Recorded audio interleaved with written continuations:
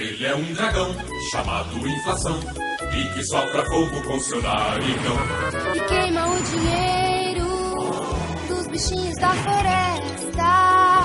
Ninguém faz mais festa com medo do bichão. Mas os três sacis, sempre com razão, sabem que poupança é a solução.